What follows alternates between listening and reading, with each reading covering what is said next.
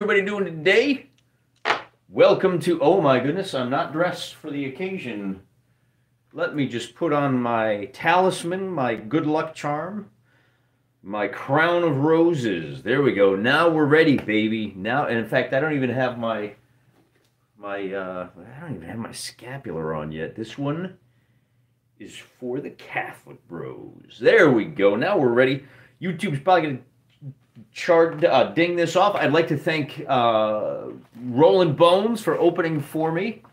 He's the opening act, and we're going to close the night out with a bunch of Traveller. He spent the whole time talking about a game that I have absolutely no interest in. Uh, Matthew Colville is engaged in an entirely different hobby than I am. Today is April the 9th, 2024, and we're playing some more Traveller. Now, because we're doing Traveller in one-to-one time, I've got two major adventuring parties, I guess you could call them, and they're both tied up. Our scout is tied up. He is running guns right now. He's already landed on. Uh, what is the system he's on? He's on Bradwalk right now, and he's delivering ammo to an incipient rebellion. Uh, shipped, I believe, for the Acid Queen. Uh, Penfold, your live stream is up against one of the all-time great live streams. Which one is that, Penfold? I don't even know. I just do this catch as catch can. Normally, I like to do it at uh, you know crazy hours at night, but I wanted to go a little bit early. It's 10:30 on the East Coast U.S., so they have an opportunity to jump in and and play along with us live instead of tuning in during their morning commute or during the shower. Let's see. Good, good morning, hell divers. Welcome to Space Vietnam.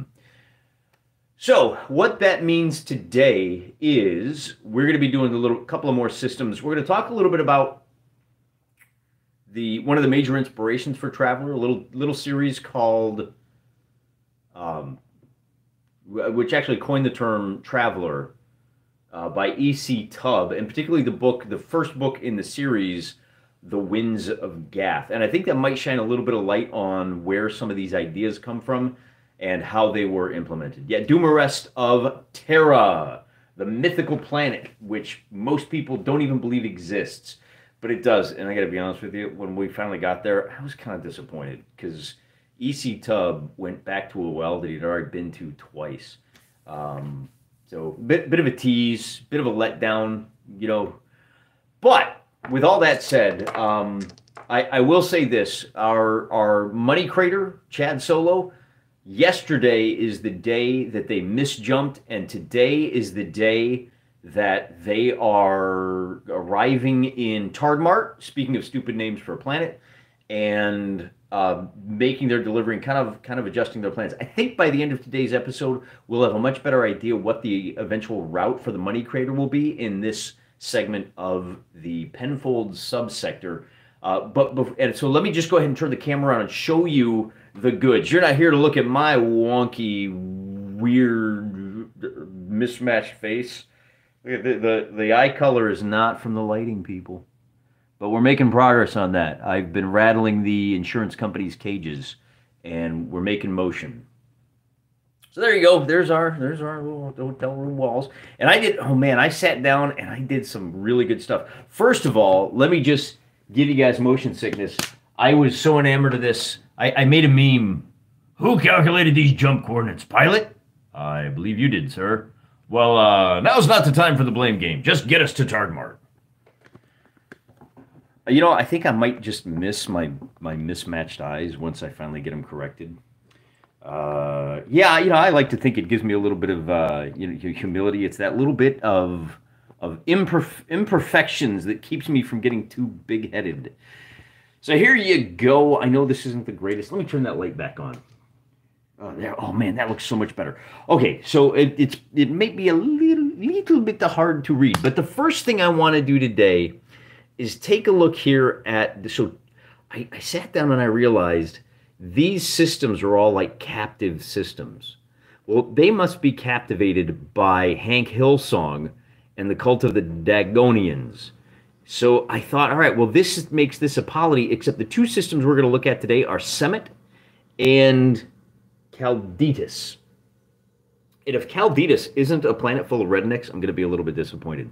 The red outline demarcates those systems that are fully under the thumb of the Tard Martians. I, you'll notice I didn't close it off because we need to see if Semet and Calditas, does it make sense for these guys to be part of the greater co-prosperity sphere? And of course, the Hank Hill song is trying to expand his reach down here into Corvinus. We know that they have a presence, a, a small but growing presence down there. The to- planet Tobor, remember Vegas 762, see the pale blue, we got another little polity. This is the prison planet that all of the undesirables from the overpopulated planet of Tobor get sent to. But you can, you know, you've got land, lots of land neath the starry skies above.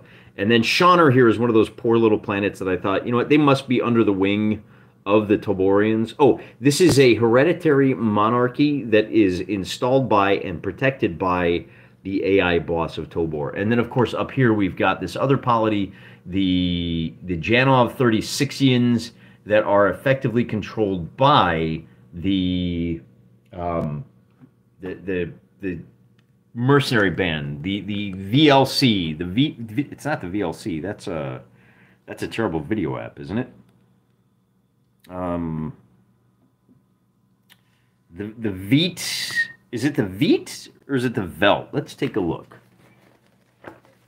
Def- oh, VDC. It's the it's the Voight Defense Corporation. That's what it is. Yeah. So the Voight Defense Corporation effectively runs the show all over here. Although we do know that Intania, oh Intania, that's right. Intania is the system that for some reason has water at the surface, and I believe it has no atmosphere, but it does have a B class starport, and they're planning. Oh uh, yeah, this is where the VDC is is located and I think, if I recall correctly, that the Queen, the Acid Queen of Blaine's World, shipped shipped guns down here to try and prevent that from happening. I'm not going to worry about that today. Like I said, the two big things I want to do, but I also see the black hexes. That's where there are no planetary systems. So what I want to do first, and and I don't think maybe if we have time we'll take a look at these, but I want to know. See where it says red I want to kind of connect these two polities a little bit more. I want to see if there's like a headquarters down here that might result in Hanky and Chambers and and maybe even Cedar Heath. Although Cedar Heath only has a couple hundred guys making bespoke vacuum suits.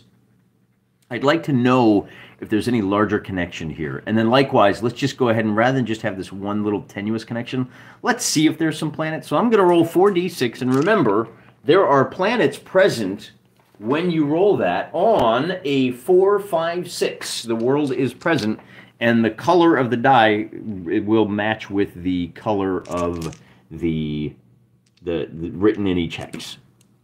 So fours, fives, and sixes. So we got three more systems. Call me Mr. Blue has nothing. So we will use the good eraser. Where's my good eraser? Where you at, boy? You're hiding out on me. There she blows. All right, so blue is going to be nothing. And then I have three more systems that I can populate over here, which gives us a little bit more time to kill. I'm tempted to go ahead and just finish off this whole sector without you guys so that we can focus more on the adventures. But where would be the fun in that? You guys are really smart and you're just as good at me and even better at giving me things. I would never have come up with Hank Hillsong. Uh, but, but, I would never have come up with Red Blobster. I think that's just absolutely delightful. But for today, I don't really care about these three systems. I'm just happy they're there. I think we'll continue with our our standard operating procedure where we go ahead and roll for spaceports. At this point, we just care about we just care about you know is there gas? Do we have a little go juice? Can we move between systems or not? And to know that, we have to roll up the starports, and we're looking for low numbers here. And once again, it's going to be red, white, and black for those. So red comes up with a 5. That's going to be a B-class starport right here. Black is a 10, is an 8, and that's a C-class, and 10 is an E-class. So this is C, and here we have another E-class ticket. There isn't even an orbital station there. That is going to be just a, a hole in the ground down on the planet side. We will name this planet Stagbrew, but I got to be honest with you. We got a lot of, look at this. We, we got Brad Walk, Hark Wind. Um, where's the other one? There's a couple more in here. Uh, Cedar Heath. We got a whole lot of True Scorn. We got a whole lot of word words. It's starting to it's starting to feel a little bit like a 40k universe, isn't it? The other thing we can do is check for star lanes. And for that, we have to roll some dice. Remember, uh, a jump one to jump one. So we, I'm going to do my B's to stuff first. B to C, B to C is uh, jump ones. And B to C's, both of these. So the B to B, there is a jump lane on a result of, oh, is it, what, wait. If there is, oh, I always get this right. For its jump, if if you've got, here we go. So so here's our table. Jump one. So from B to C, you, you've got a jump lane on a two or more. So I have to roll once. We have one, and then twice. We do not. So the Miners Union over here in Go-Way is also connected to Stag Brew. But Stag Brew is not connected to Chambers. I'm not going to roll to see if there's a star lane jump to there. Instead, I'm going to check down here. This is a jump to from B to C a jump two from B to C, there's only a lane on a four or better. So uh, wouldn't you know it, there is. So we've got some interesting Cedar Heath is not a big system, but boy howdy is it a real node. We've got from B to B across two, we need a three or better. And I get a one, so there's no lane there. And then from B to C across two, once again, I need a four or better. So Stag Brew is also connected over here to Summit. And I think that's pretty good. B to B on a jump three, one, two, three occurs on a four or better. So Stag Brew will have a nice little jump lane over here. And I guess it makes sense when you've got a B a to a B. So for now, when you get so then we'll look at from C to C. These all these jump ones from C to C and C to C on a three or better. So yes, and no. So Chambers is connected down here to whatever this is. I don't even know what it's called. This C starport is connected to C to E on a 4 or better. So we do have one little connection there. And then this E-class system to C. C to E is a 4 or better, and we get it. So there is a little lane there. My, my, my map is way busier with the star lanes than most people's. The entire sector was named by a rogue trader who had too much melange. It's a trade route, uh, says Megabustard. Cedar Heath says, I wonder if that's his system he's talking about. Uh, live chat, all messages visible. Trade route for the universe famous Brooks Brothers vacuum suits. Yeah, maybe Hugo Boss.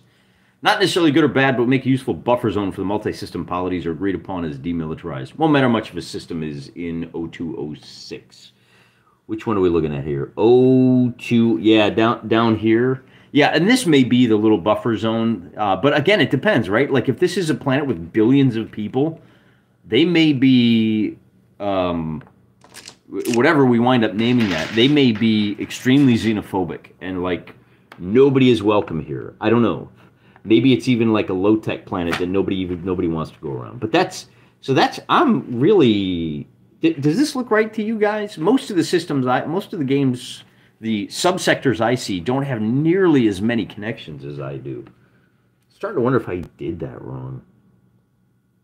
I mean, technically, and and the one rule I have here is I try not to cross star lanes. So I'm not even going to check if B. Technically, you could have a star lane from B to B. One, let's see, one, two, three, on a four or better I guess we could check that one from Intania to Stagbrew. That might be useful for, for shipping later on. So let's check that. We need a four or better. And we got it. So we still have yet another star lane that that bypasses chambers and slips right through there. So it bypasses go away too. But but there you go. That's that's the the the, the space lanes. Very busy, very interesting and we can turn the page on that and we can take a look at the two systems. So the first one, actually I'm going to leave that page up. But I don't want to tear it. I, I think it was a, an interesting discussion over on Rolling Bones tonight because it was really kind of a game design system. Let's do let's do it in alphabetical order. We're gonna do Cal Calditas first. This is the B class starport. So see, I I, I came prepared, baby. I did some homework. B class. I'm gonna roll a whole bunch of dice, and we're gonna use the same system we did last time, where the I've got four different pairs of dice. The red dice will be the size, the white dice will be the Atmo, the blue dice will be the hydrographics, and the black dice will be how many peeps are calling the place home. So with a 10, we have a nice 8,000 square, uh, 8,000 diameter. I should be rolling these over here. I hope I don't mess them up. There we go. So we got 8,000 miles across. She's a beefy one. She's an Earth-sized planet. It's going to be interesting to see if I memorize these. Then with white, we've got our atmosphere, which is non-existent. Well, wait a minute. It's actually going to be 4 minus 7 plus 8. So that becomes a plus 1. That's not too bad, actually. It's a thin atmo. Okay, I stand corrected. It's kind of hard to hit the, the, the middle in there, but, but we did it. True or a little trade haven, Singapore analog sitting. Yeah, that could be. Lots of people, nice little uh, trade thing. Um, sitting in between the trade zones and taking advantage of the shipping. Phezzan from the Legend of Galactic Heroes. Uh, Dundermoose has got a new space lane and no Vogon fleet necessary. Yep, nice little bypass. It's like a map of New Jersey with all the exits, says Cedar Heath. This is still the best system for rolling planets from any RPG. I yeah, I I we're going to talk about planetary design and how you can have a massive planet with a very small population. Winds of Gath. Go read it. It's like 110 pages. I read it on a flight in the amount of time it would have taken me to watch a movie, and it was so much more interesting. Uh, thin atmosphere is breathable. Let's talk about that. The thin atmosphere are breathable without assistance. You don't even need a mask for this one. Distinct lack of quality poetry. So we got a thin atmosphere, and then what's next? The blue dye is the water, and we once again are using the uh, 81 version classic Traveller for this. Which is better? I think i think that might work a little better. I think if the the other day we did we zoom in and did that help with the, the stupid auto zoom? We can go right in on the paper so you can see everything i'm writing down. Let's try that. Uh, thin atmo. The we've got uh, a hydro of 6 minus 7 is negative 1 adding the atmosphere so we're at 8 5 i'm just glad we don't have to look at another planet with a taint oh maybe i can even oh, look at that see there we go uh, so 8 5 and then it's the blue dice minus 2 gives us a 40% hydro. Not bad. Not bad. Maybe a little on the dry side. Maybe some some big mountain ranges with big rain shadows. Maybe lots of deserts. And then population is going to be, we got a big one, it looks like. 2d6 minus 2 is 7. We've got tens of millions. I think that might have been a 10 and I messed it up. But I don't care because I've got 10. How many tens of millions? I've got 30 million people on this planet. That ain't bad. 30 million. So 8547. This is going to be a nice stop. I think Calditas, I think I think old Calditas is going on the regular route. And I still have to roll for law. Let's do black for the government and blue for the for the law. Black for the ooh, we haven't had one of these yet. Oh, this is good stuff. Box cars on the government. This is going to be 12 minus 7 plus 7. It's a straight up 12. That's going to be a charismatic oligarchy. Charismatic oligarchy. So I don't think this is going to be part of the greater Dagonian co-prosperity. The distribution of the population size is, is logarithmic. Yeah, but they do tend to cluster down. But again, it's you're you're looking at this on a on a 2d6, at least the, now the population is an easy one because it is simply minus two. So your your typical population, right? Your your most common result is going to be a seven on the dice, which means your most planets are going to have hundreds of thousands of people, with with an even number of of you know tens and millions of of so between the four, five, and six where we cluster, if you look at that, your average of those three is still going to be about a million. So come to think of it, yeah, I yeah, it, but it is it does get exponentially larger. I think it's a little funny. I still think it's hilarious that he told us, "Oh, population is is it straight two d six? Yeah, and then uh, there's no way to get bigger than tens of billions. Like you're not going to get up to hundred billion. Lots of planets have the population of Kenosha, Wisconsin. Kenosha, home of the Society for the Preservation and Encouragement of Barbershop Quartet Singing in America. God bless. I'll call this, of course, they renamed themselves the Barbershop Harmony Society because that's really boring and and, and tedious. But they put a bunch of um, of fellas who are rather light in the loafers in charge, and they made it dumb as they usually do. So that is a Class B government and then we have a law of eight Enid, home of the ferocious wand storms. I have no idea what you're talking about. But I do know that law level is going to be at minus seven plus the government, which gives us a result of 13. And the charismatic oligarchy, everything is illegal. The, the law is actually going to be, so that was a 8 plus 5. It's going to be a B for the law which technically is well wait wait a second here b for the law yeah i don't understand what that means so everything is illegal no weapons and and i do think it's it's rather interesting that the law keys in on weapons it's almost like the more bans you have on weapons the more I can't believe there's not a Traveller player in here that can correct John's population roll. What what's wrong with my population roll, Jeffro? I rolled a I rolled a 12. I'm gonna double check. The digit indicating population is the exponent of 10. Thus, a population digit of 6 is a million people. Population is generated with a two dice throw I rolled a seven. Tens of millions. It's right here in the table, baby. No, oh wait, did I roll a seven and wound up with a nine, or did I roll a nine?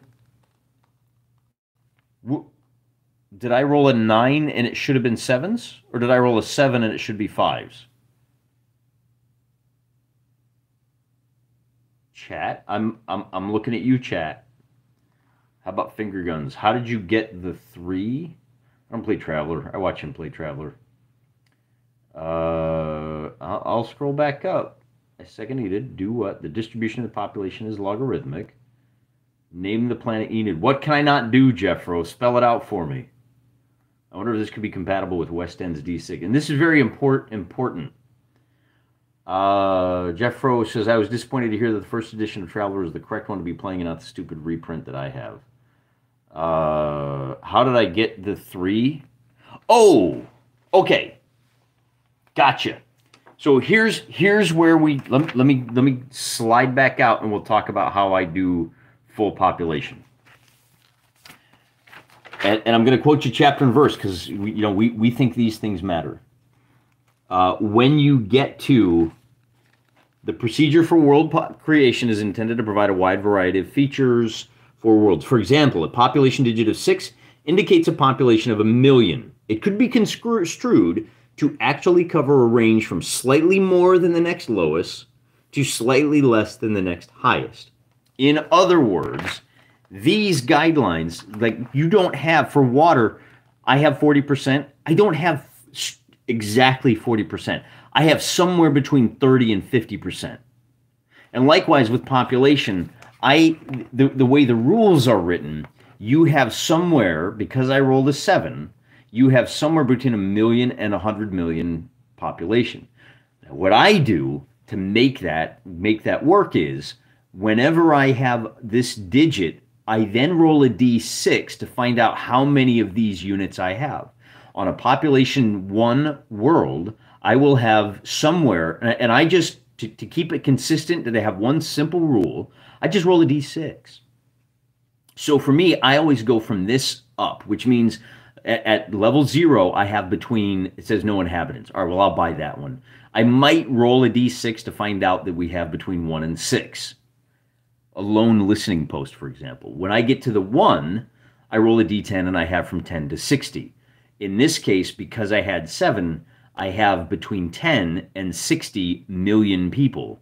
In this case, I rolled a three, so my total planetary population is 30 million. And again, this is not an official census. This could go up or down by as many as a half a million people based on just general, like generational trends. I'm not going to worry about that because what really matters is, and ultimately, this extra 20 million people that I applied doesn't make a difference mechanically un, un, when we get to the real issue, which is hey, if I'm hauling cargo, I'm still going to have a population seven world, right? I'm still going to be rolling seven dice to find out how many cargo shipments I've got and how many tons are available and how I can, can calculate these. But you know, this is really just more for flavor. And and it, it, but it does wind up giving you a little bit of distinction. If I've got two planets with a population of seven, and one of them is 10 million and one of them is 60 million, I now have some relative proportion of which one is larger than the other. It's the difference between the New York City metro area and, say, the Oklahoma City metro area. Although I think that's probably closer to 2 million. But I, th- I think you get my point. So we've generated all of our important stats for Calditas and we've established that it's outside the sphere of the Targ Martians. Um, we can look at Cyric. You know, I was looking at this, and let's pause for a moment. We'll come back around to Semet. I was looking at Cyric, and if I bring up that page, so Cyric is 0807. So we come over here to 08. There's Corvinus and Cyric. And this is where I realized, oh, you know what? This only has, this is a Waterworld. Now it, it has no government. So why did I say earlier it's captive? Because I forgot. But this is a water planet, and we've already determined that Hank Hillsong and the Dagonians are a water cult. So the fact that we've got this water planet right next door with 400 population, it's a huge, it's got a dense atmosphere. It must be home to a sacred site, and those 400 people are part of a monastery that you have some shipping back and forth for pilgrims going to visit the sacred shrine of. And if we look at, I, I guess the other thing we could do is maybe we put Bill Dauterive in charge. We're going with a Hank Hill theme for this whole thing. So, so may, maybe old, maybe old Bill Dauterive. He was in the Navy, wasn't he? So that would make sense to put the Navy man on the water planet, but we can talk more about that later. In the mean, uh, in the meantime, we want to uh, flesh this out.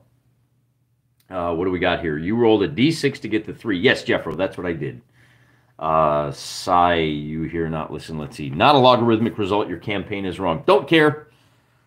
Too bad. So sad. Jod's not going to be taxing those folks. Jeffro, how does he generate a logarithmic result? Well, um, I. How do you roll a logarithmic result with a d6? You could, well, 2d6 minus 2 would give you anywhere from 0 to 10. Oh, look, now it's 10. My concern there is that by multiplying that number by 1 point, but basically by 10, so this result, here we go, let's do this. So here's our common result. If you really wanted to be truly logarithmic, then um, this result would be a 5, and you'd multiply it by 1.5. So that, that 10 million would become 15 whereas this would be multiplying it by 1.0 it would be by it would be doubling it right so but but then you would still have you would still have numbers clustering i i don't know how you would do it you would still have if you did it the way i suggested you would still have like a cluster down here at the 2 at the doubling in size and then a and then a quantum leap before you get to that times 10 so i'm, I'm not sure yeah like my population's have this weird thing where they go one, two, three, four, five, six, and then they skip up to the next one. Like there's no populations of 70, 80, 90 million. You get right to 100. Um, and it is linear within that that step of the logarithmic scale.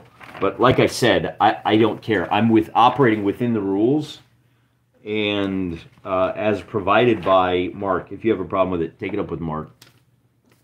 Uh, here we go. So we got a roll four. We'll zoom in again because I like that. Oh, Bill Dauterive was Army. Ah, nuts. Okay, I guess that makes sense. Yeah, because he was still cutting hair at the at the at the Army base, wasn't he? Zoom in. Whoop, there we go. Whoa, two d six plus a chart fixes all your problems. Jeffro, yeah, hit me up with a uh, hit me up with a, an alternative dice rolling method. Tuesday is math day. Man, says Dunder Moose, I need to buy a pocket protector after the back and forth with Jeffro. Jeffro, you guys you're acting like those guys who try to work on imperial economics and never actually play the game. Oh, boo. Be nice, guys. We're, we're all among friends here. Um, and I'd be interested to see what kind of mechanic you could come up with to keep it keep it keep it on the log scale. Um, this is not a game for people that are afraid of a little bit of math. What's my order here? I believe my white was the red was the size. That was a two. So we got a size five. We got a white is the atmosphere. So we'll be at minus two to the white. So five, five. We have another th thin atmosphere, 5,000 miles across. Thin atmo. I'm, I'm okay with that. Blue is a seven which is minus 7 plus the Atmo. That becomes a 50% water. I'm thinking this will be part of the Hillsongians. But then our population, once again, is in the hundreds. Yes, but I must encourage the kayfabe. Iron sharpens iron. Uh, so we've only got... I'm, I'm doing it again. Close your eyes, Jeffro. Look away. Just, just look away. Okay, this is happening. I got a 2, so there's hundreds of people. There's only 100 people on this planet. So again, I think we may be in a situation where Semet with the C is part of the that's only a jump one away from from Tardmart, so that may be the case. Rolling the black and white. Black is government, white is law. The government is gonna be a negative one plus the population of one makes the law no laws. Yeah, so we got no government. That's no government. But the law is going to be. Oh, wait, wait, wait, hold on, hold on. Did I do that right? It's minus seven plus the population, so we're at minus two altogether. That becomes a four. No, I did that wrong.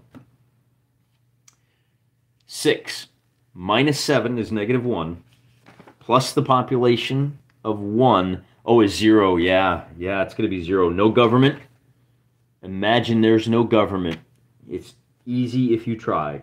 And then the law is going to be negative seven plus zero. So the law, oddly enough, there is a a an a gentleman's agreement among the hundred people that are in the population there.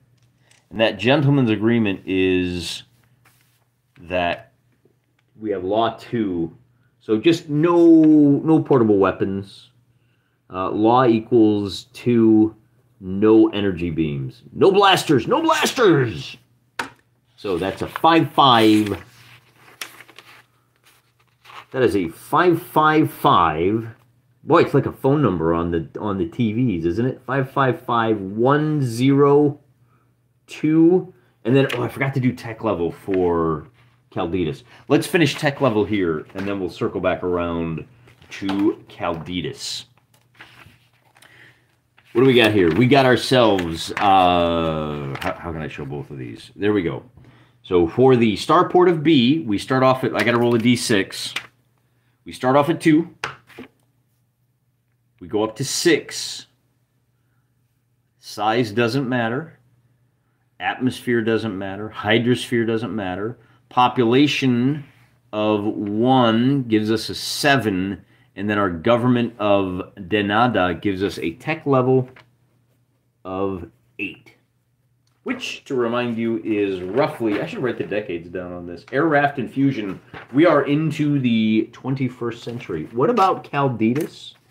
And then once we're done with this, we are going to, for the time and money it takes to maintain a girlfriend, you could have a really decent 40K habit. Yeah, ain't that the truth? Um, I need to find a way to trick my viewers into buying my 40K stuff, and, and maybe then I'll do it. Uh, so what do we get here? We got tech level 8. And then over here, no weapons. So BB. So Calditas. Did I spell that right? I did. He's going to have a tech level. Oh, no, I, no, I screwed that up. They have a starport of C. That means the tech level goes down by two. Uh, Summit has a tech level of six. They get demoted. That makes sense. I think we have another Shrine World. They have auto rifles. They have TVs, but that's it. So televangelist. This may be the the TV center of the of the. Uh, maybe this is uh, where Pastor Redcorn lives. Um, maybe he's a native of this particular world, and we can finish off the polity because we've made that decision. So Summit is in. You're in the club, guys. And then we'll just finish off our nice red polity. So we have a really big planet surrounded by a bunch of smaller planets. Like this one is billions of people with a couple of smaller ones. Hot take Futa is the lowest form of anime. How dare you, Penfold? How dare if I knew anything about anime, I would be outraged. I would be scandalized if I cared. So Calditas, let's find out how big they are. This time, we start with a D6 roll. Oh, they're to be huge, baby. They, they know they know these are to be those high-tech rednecks. So we get a 5 plus 4 gives us a 9 and then it's to be size 8 uh, atmosphere nothing, hydro nothing, population of B gives us nothing, so we're at 8, and then a government of B, so it's just tech level 8. All right, no problem. Tech level 8. Now, let's go ahead and talk about something something here, okay? I want to talk to you guys about high passage and low passage. And to give you, uh, and, and this is, this is where um, I, I Jeffro and Brian Renninger. Jeffro says, okay, it's an exponential curve. The population of the planet is 10 to the 7 by default. If you use the d6 to adjust and get a 3, the population is now 10 to the 7 plus 2 sixths. Ooh, we are getting deep into. Hey, look, man, Vancian magic is indistinguishable from mathematics and vice versa. This is where the magic happens. Okay, let's talk about the winds of Gath. The Winds of Gath, there's a couple of things we want that, that you need to understand about the way this book works. It is a near hard science fiction. Imagine if sci- hard science fiction writers weren't a bunch of dorks that spent all their time huffing their own farts. And you get the Winds of Gath because the science serves the story. And then when the when the the science gets in the way of the story, we just chuck it right out the window. The planet of Gath is a very interesting one because it's really big and it is tidally locked with the sun, which is over here, which means this part of the planet is ridiculously hot and this part of the planet is really cold. So here, just to give you something to look at, see how the thermometer is down there and see how the thermometer is up here.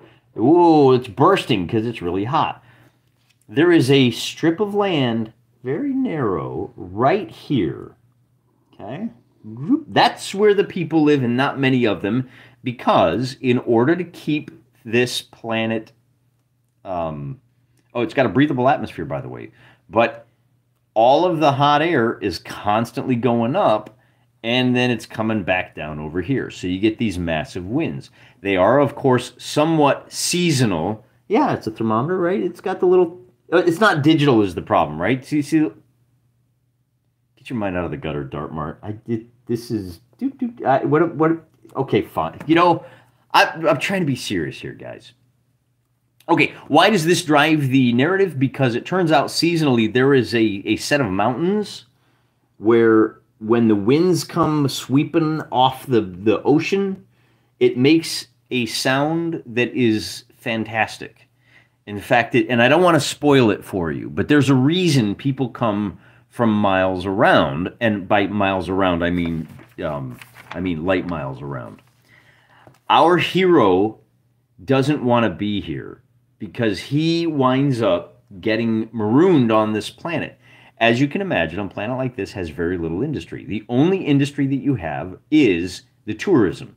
People land at the spaceport, and then there's a two-day journey up to where the magic the magic mountains are, and they sing to you, and then you have to come back down. So our hero, Dumarest of Terra, he winds up. At a, a long story short, well, no, I'm not a long story short. I'm, I'm going to explain to you exactly why, because this all informs how Traveller works. He's traveling low, and he's asleep. All right, let me back, but we got to back up a step because I probably should have started by talking about high and low passage. In the Dumarest of Terra books, and this is where high and low passage comes from, at least the terminology. Low passage works exactly the way it does here in Traveller. A, a cryogenic box that is largely used for livestock makes a cheap way to travel between the stars. You climb in, it gets really cold, and then you get pulled out of the box. When you travel medium, you have to live through every day of the journey. And these are long journeys, they can take a couple of months. But there's this alternative, traveling high. Of course, in Traveller, we've all seen the traveling high just means you get a private room, it's pretty swanky you know, room service, the whole shebang. If you travel medium, you get a private room and the food's not as good. But in the case of Dumarest of Terra, this is where the hard science fiction comes back in. Your starship is blasting across the ether through the void, and I don't want to have to experience all of that crawling across the universe. So the ship's doctor, and this is why it's important that every ship has a doctor. One, so he can revive the guys coming out of low passage. But two, he injects all of the high passengers with a drug called QuickTime.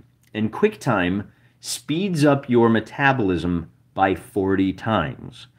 And it allows you to experience 40 seconds of real time in one second of subjective time. Expand that. For every subjective day that you live, 40 days pass in the real world.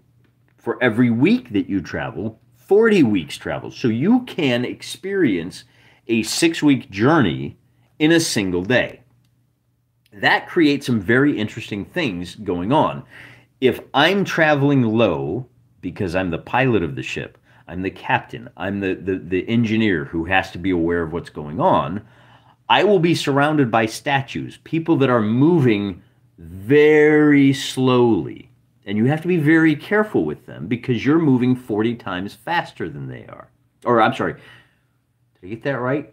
No, they're they're zipping around. I got that backwards. They're flying around in quick time because you know it, it, everything is relative here. So the time it would take you to move one foot, they move 40 feet. So what happens is, well, yeah, that Cyric raises a good point. We're traveling high. It turns out we're high on drugs, not like high on the hog or or high society.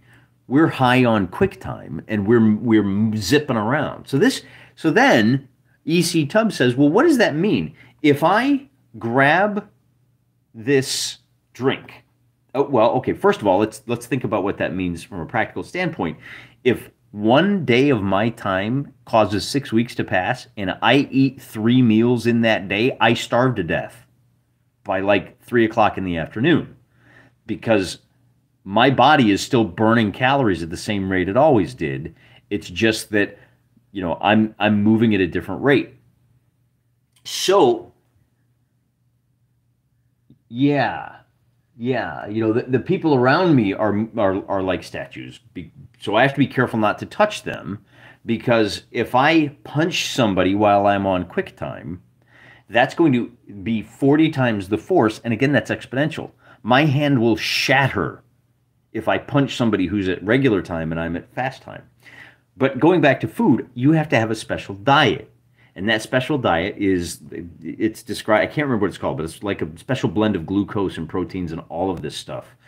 And what happens is you're getting like 40 times the calories so that when I when I drink a couple of cups of this broth, I'm getting 40 times the calories. And if I have three meals a day, it's the same as getting 40 meals because 40 days of real time have passed in my one day of subjective time. But let's think about it even further. I've got my broth that I pour from the spigot, and the stuff takes a long time to fill, so I have to have it ready. But now, in the time it took the cup to fill, like maybe it only takes five seconds. All right, well, that's 200 seconds. Well, that's three or four, that's like three or four minutes, right? And now I take 10 seconds to take a sip of it. Well, that's actually 400 seconds. That took five minutes. This drink is going to be ice cold by the time I take my second sip. So to account for that, our our our hard science fiction author says the cups that you're drinking, by the way, we're drinking a, a Sunjoy from everybody's favorite Chick-fil-A. No burps today, baby. Each cup has comes with a little heating element down at the bottom that keeps the beverage inside at a constant temperature. And this becomes a very important plot point in a number of the Dumarest of Terra books. Later on in the book, our hero uses QuickTime to save the space princess, which is where we have to come back to this planet.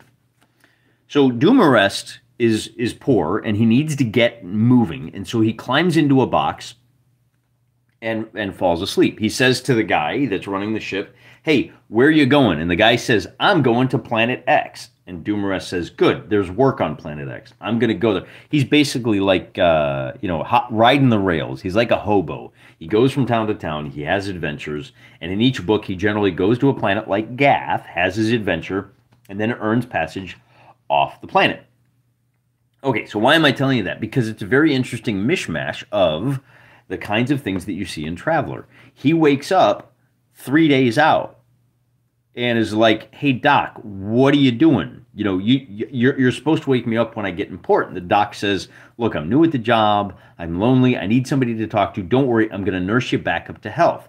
He gives him a whole bunch of that that that protein shake to fatten him up because if you've just come out of a cryo box, you're usually weak, you're cold, you're starving. And so the doctor has pity on him and makes him nice, fat, and healthy. Well, then the doc spills the beans. Yeah, we're actually going to Gath.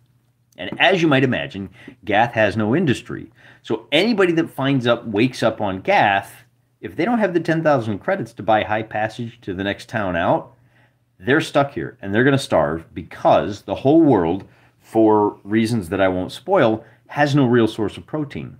There's no the only income that you can have is serving as a human mule for all of the rich people that came to hear the songs of the mountains as, as the winds of Gath blow through. This becomes important in the book because the reason the ship didn't go to planet X is that there was a there's a planet with a space queen who has to protect the space princess whose life is in danger. And so she does that trick where she says, It's time to go on vacation. She comes over to the planet Gath and she drags the princess along, where the number of potential assassins shrinks from everyone on the planet, the, the huge populated planet, to everyone on Gath, which only has a few hundred people right? So now it's much easier to protect this princess for the few weeks until the political situation settles down. The queen can say, oh, well, this princess is going to be my heir because the queen has to name an heir. There's a lot of political intrigue, but then you get into a situation where uh, one of the other tourists down here has a plan for for for doing stuff. And again, I'm not going to spoil the book, but you have a situation if you've ever seen the live action version of The King and I, where the King of Siam realizes that he is at grave risk of being subject to a coup, he packs up all 40 of his children and all 30 of his wives. Oh, gross. Can you imagine having to deal with that many women? Ugh, ugh. I have a hard enough time with the one I got. Imagine 29 others. But they go off to see a white elephant that doesn't exist. The planet Gath is the white elephant that serves the excuse to get the princess out of the way. And oh, look, now our hobo has an opportunity to provide a service and help protect. In fact, early on, he winds up foiling an assassination attempt on the princess, and out of, well, kind of out of gratitude, she says, Hey, I will buy your passage off of this dead end planet. You don't have to worry about living as a pack mule. You don't have to worry about, um, you don't have to worry about starving to death here with the rest of the bums. And of, of course, there are a whole lot of other aspects of the book. There is a kind of a psychic empire and kind of a holy empire that operate across the galaxy, and it's it's really interesting the way these they're, they're I, I, I don't want to spoil too much, but they're basically like psychic cyborgs. They're they're humans who really want to be robots, so they cosplay as robots to the point that they have all of their like hormonal stuff balanced, but they have psychic abilities to, you know, um, communicate across the distances. It's really an interesting bit of world building that creates a lot of potential for strife. And um, and and again, I just I can't recommend grab any of the Dumarest of Terra books if you ever have an interest in playing Traveller, because any one of them you'll start to see the influences on the game or vice versa. So that's kind of my little lecture and, and quick review of the Winds of Gath. Um, going back to QuickTime, there, there's another kind of aspect of it that let's suppose you can run it at six miles an hour, that's 10 minute miles. If you're running six miles an hour, if I do that while I'm on QuickTime, I'm running at 240 miles an hour. If I stumble at that speed, I'm going to be a red smear on the pavement. So if I'm on a planet where there's like uneven surfaces and birds and critters flying around, I got to be really careful about how I move. In fact, if I move too fast, if I'm moving at like what 120 miles an hour, my clothes are going to shred around me. This is why you only really ever want to use QuickTime on within the safe confines of a starship. And when you're on QuickTime, you still have to be careful because if you drop something, then you know it's going to shatter and you don't want to catch it because you're going to be moving way too fast. And again you wind up busting your hand.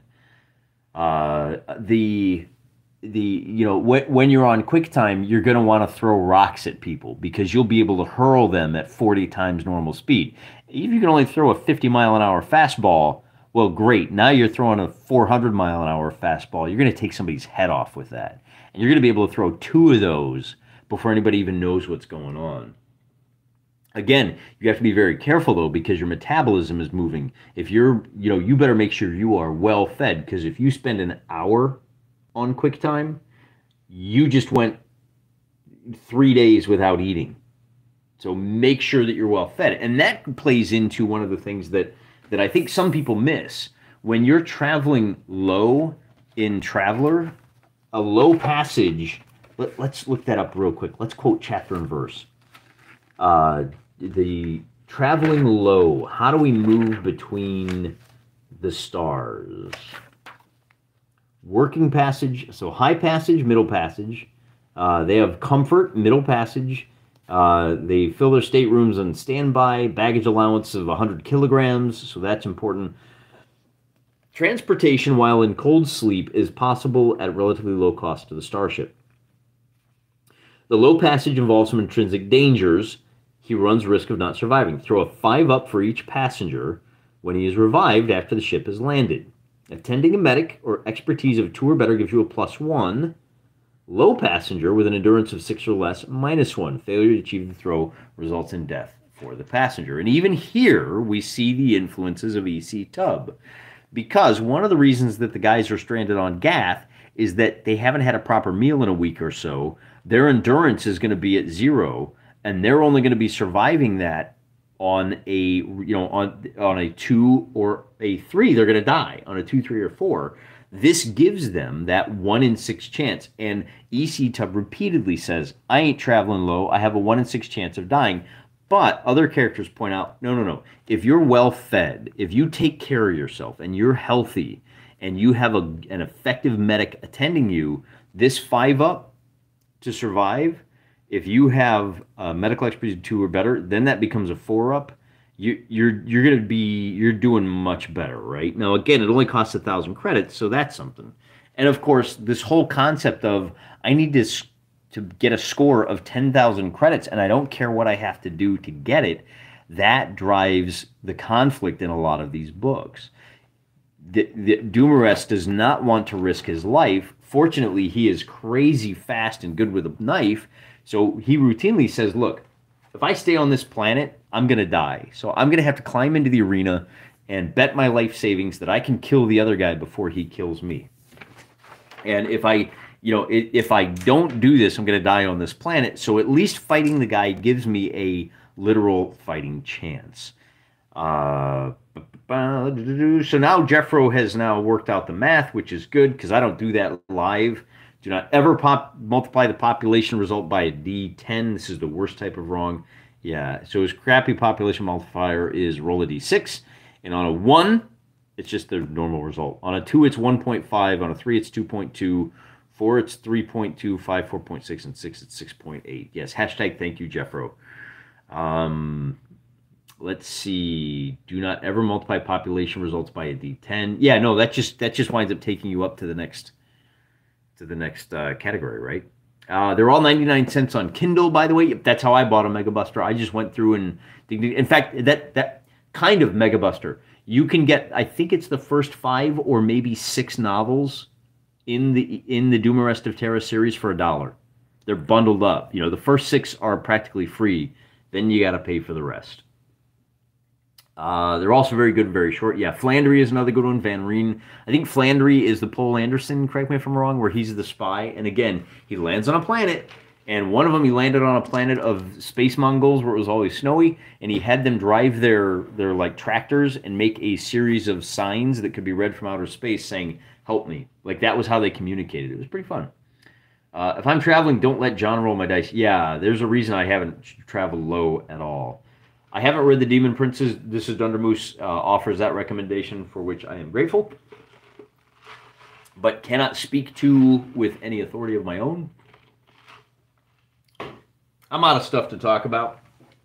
We're gonna do another one of these here uh, here pretty soon. We got three more planets we got to develop, and uh, look for some connections. Looking at you, chat. Anything else? Oh, yeah, I should probably write down. I tell you what we're going to do. Tell you what we're going to do before we close out. I have two more systems. Let's see if I can zoom in. There we go. There we are. C and E. There we are. Um, let's see.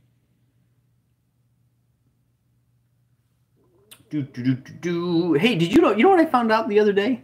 I was listening to another uh, channel. They were talking about Thundarr the Barbarian. And um, did you know Chuck Dixon? Chuck Dixon wrote for Thundarr the Barbarian. This world is an amazing place. I love that. Hey, thanks for coming aboard, uh, Sex Edmund Thunder. Uh, should, should we name one of these? We're going to name one of these after you. We'll call this, should we call it Thunder Sex? I don't think so. I'm already skating a fine line by naming one of my systems Tardmart. Uh, so we're just going to call it the Thunder system. All right. We could call it Thunder Rift. That'd be good, right? Uh, it's implied Dumarest has been traveling for centuries in the books. Yes, that is very true. By the time he makes it, oh, spoiler alert, by the time he does make it back to Terra, the place is unrecognizable because he has been traveling low for so long and high. Um, Jeffro, do you not age when traveling low? I believe that is the case. If your quick time lasts more than eight hours, you should see a doctor. I've heard that. That's what it says in all the hyperspace commercials. Um, I that's correct. You, you're when you're traveling low, you're actually in suspended animation, and um, so you don't age. I don't know if you age on QuickTime. I don't think you do, because as as other commenters have pointed out in the Dumarest of Terra books, uh, he leaves Terra at a very young age. He's only like ten years old, and he stows away on a ship, and the captain is kind-hearted and takes him along. And by the time Dumarest realizes that uh, he would like to go home, he's been traveling for hundreds of years and he has no idea where it is, and all of the records are deleted, and it's kind of a major thread through the whole thing. That one of the reasons he keeps traveling is every planet he goes to, he asks around if anybody's heard of Terra, and it's a running gag that everybody goes, "Wait, dirt." There's lots of planets named Dirt, and he's like, no, Terra, the like home of people, and and everybody's like, Bro, you think people all came from one single planet? Do you know how many people there are in the galaxy? There's like billions of them. And you think we all came from one planet? What are you, some kind of, you know, they treat him like a flat earther when he talks like that. Uh, Forgotten Ruin is Kino. Carl Gustav, don't care. I read the first two. I thought it started getting a little bit same, same, but I would definitely recommend everybody take a look at it. Name the E1 Medicine Hat. Why Medicine Hat? I'm gonna name one of these the the Johnson. Oh no, I'm not gonna name it. I, have a I have a John. Uh, I don't know if you're aware of this or not. Let me let me find my ship's roster. Jeffro answers to Captain Deuce. Uh, where is it? We have yes. Here we go. So this is the roster of the the Money Crater, and you'll notice that our chief steward is named John Jeffroson and we decided that he's a steward too, and then and then he also has a skill here that's called swing dance. This is how he keeps the people occupied. He he swing dance, uh, swing dance one. That could be a major plot point. So he helps keep the the passengers satisfied by teaching them how to um, how to dance the the the herky jerk. What, do what what I don't know to dance the uh, not not the Charleston. I don't know what the swing moves are.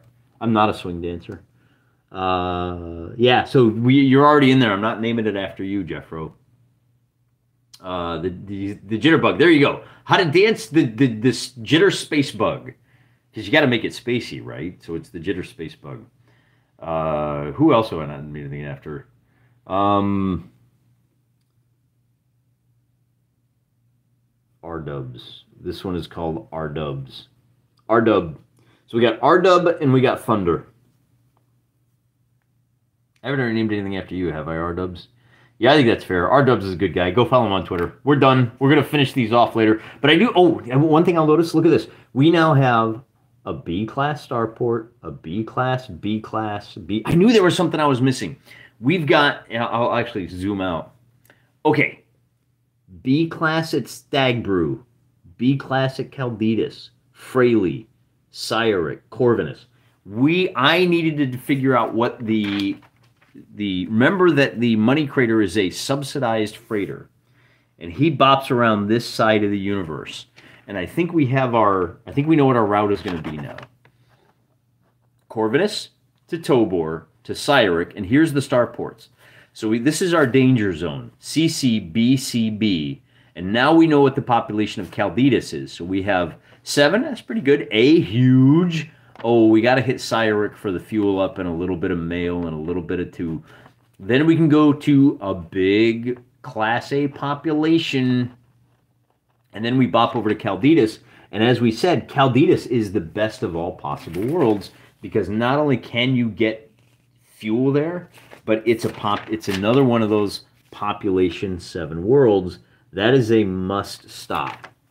Okay, so that's where we're at. Now we hit, remember that we hit Tardmart and then we jump back to Cyric and we have a class three star vessel.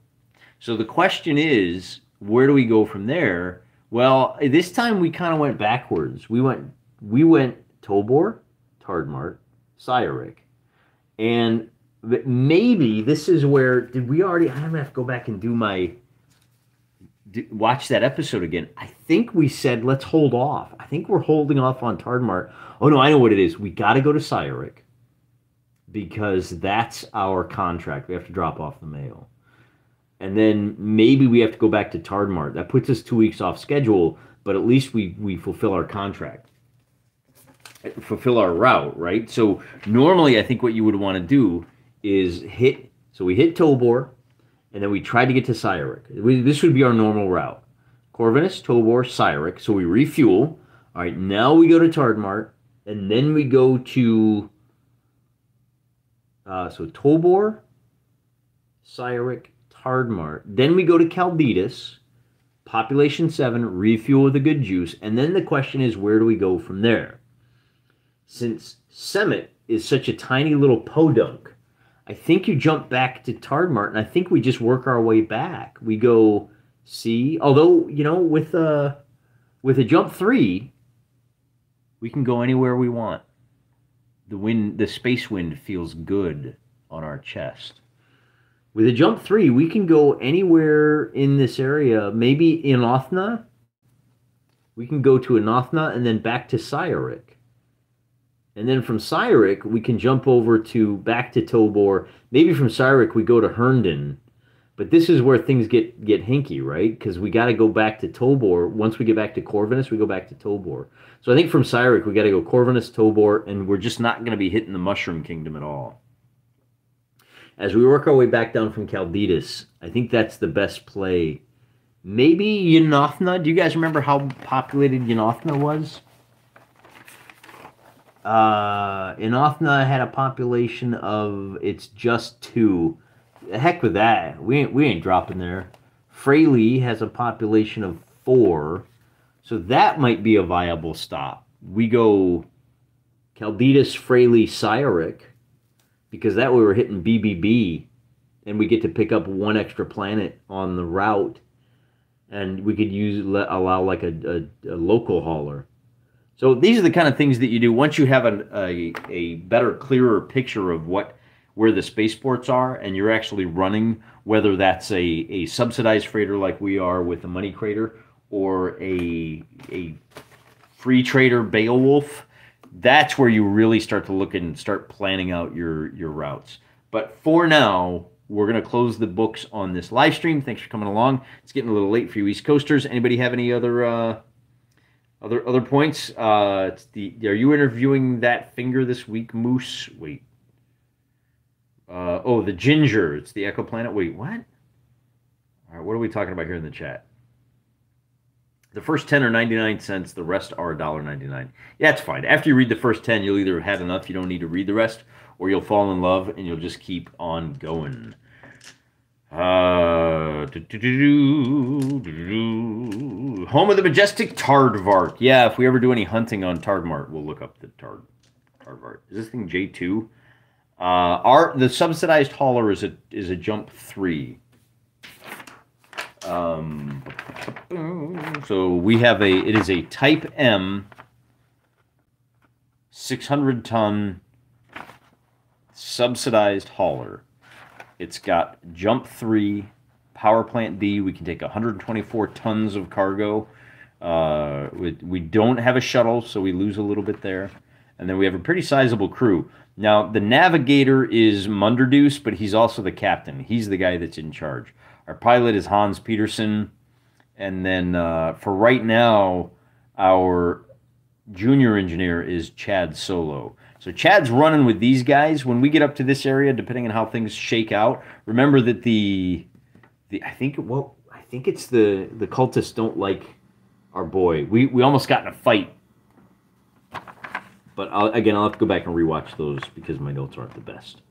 Uh, here, here's the notes that I do have right after my my calendar, which will take us up through September. Uh, let's see. Second interview. Yeah, I didn't write anything down. I got to go back and rewatch those and write some notes. Okay. Seriously, guys. Till next time, I'm praying for you.